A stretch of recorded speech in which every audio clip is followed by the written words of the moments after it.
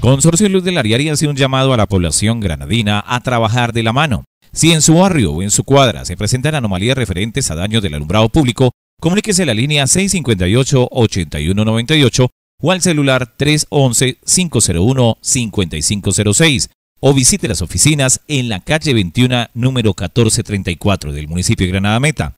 De esta manera se prestará un mejor servicio y además se cumplirá con toda la comunidad. A través de las cámaras ATV se evidencia el trabajo y el compromiso de la empresa Consorcio Luz del Ariari para con los granadinos.